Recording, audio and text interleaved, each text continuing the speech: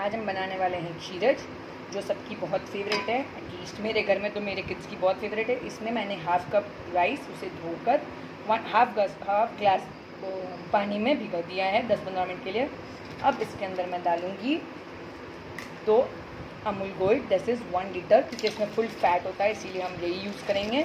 अगर आपने अमूल ताज़ा या कोई और यूज़ की तो उसके अंदर आपका जो टेक्सचर आना चाहिए, वो नहीं आएगा, इसीलिए। दो थैली means one litre of milk मैंने वन लीटर मिल्क डाल दिया है। अब इसे हम लोग दस मिनट ऐसे ही रहने देंगे, थोड़ा छोड़ देंगे। देखिए, अब जैसे ही ये बॉईल हो गए राइस अब इसे हम लोग ब्लेंड करेंगे। अब हम टेन एक फाइव मिनट बाद ब्लेंड करेंगे और फिर इसमें हम डालेंगे शुगर अब आपने इसे ब्लेंड कर लिया है और आप देख सकते हैं कि कितना अच्छे से ब्लेंड हो चुका है मेरा ये। मैंने हैंड ब्लेंडर से ब्लेंड किया है। आप चाहें तो उसे आपके हिसाब से ब्लेंड करें। क्योंकि अगर हैंड ब्लेंडर से ब्लेंड करेंगे तो स्मूथनेस बहुत अच्छी आती है। इसीलिए मैंने हैंड ब्लेंडर से इधर आप, आप शुगर डालेंगे। और अगर आप चाहें तो इसमें मलाई डाल सकते हैं। अगर आपको मलाई पसंद है उसका टेस्ट पसंद है तो डालें वरना आप अवॉइड कर सकते इट्स ओके. यहाँ मैंने एक कप शुगर ली है। जो मैं इसमें डालूँगी अगर आप कम खाते हैं, कम डालें ज़्यादा खाते हैं, थोड़ी ज़्यादा डालना चाहें, ज़्यादा डाल लें, वो ये आपके टेस्ट के ऊपर डिपेंड करता है। हाँ मगर खीर मीठी ही पसंद की जाती है, इसीलिए मैं यहाँ पर वन कप डाल रही हूँ और इसे आप स्लो गैस पे at least five to ten minutes में पका लूँगी, जब तक कि शुगर मेरे डिज़ोल्व ना हो जाए अंदर और इसका टेस्ट थोड़ा अच्छा ना हो जाए। फिर हम इसमें डालेंगे केसर और खूब सारा ड्राई फ्रूट्स जैसे कि आपने देखा, हमने सब कुछ कर लिया है, अब इसमें हम थोड़ी सी केसर डालेंगे। आपको केसर का टेस्ट पसंद हो तो आप ज़्यादा डालें, कम पसंद हो कम डालें। मगर हाँ ये ध्यान रखिएगा कि वो वाइट से कहीं कहीं येलो ना हो जाए, इतनी केसर ना डाल दें। राइट और जैसे ही आप आप एक बार उसको ब्लेंड कर दिया, उसके बाद आपको चलाते ही रहना है, उसे छोड़ नहीं देना है, क्योंकि वो नीचे अगर तपीले में जाके चिपक जाएगा तो वो आपके लिए स्मेल कर देगा।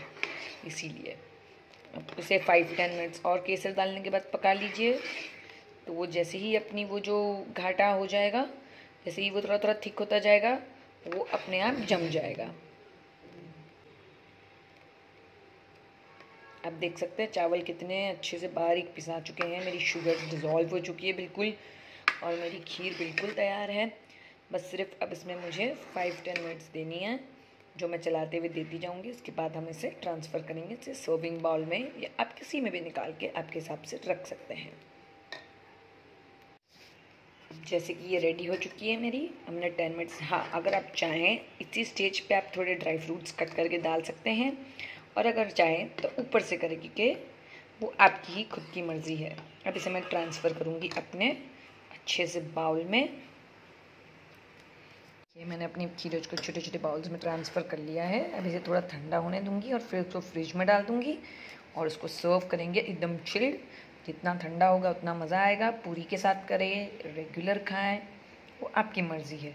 और उसके ऊपर मैं डालूँगी थोड़ा ड्राई फ्रूट अब देखिए इसमें मैं डाल रही हूँ ड्रेल ड्राई फ्रूट और एकदम ठंडा होने देंगे। अगर आप चाहें दूसरे ड्राई फ्रूट्स डालें का, काजू बादाम आप इसे हम सीधा ले जाएँगे थोड़ा ठंडा करेंगे और उसे डाल देंगे हम फ्रिज के अंदर। उसके बाद उसको ठंडा करके और हम उसे yummy yummy tasty tasty kheer. दोस्तों, कितनी इजी है ये खीर बनाना। झटपट बनाइए और फटाफट कमेंट लाइक और शेयर करिए और मुझे बताइए कि ये कैसी बनी।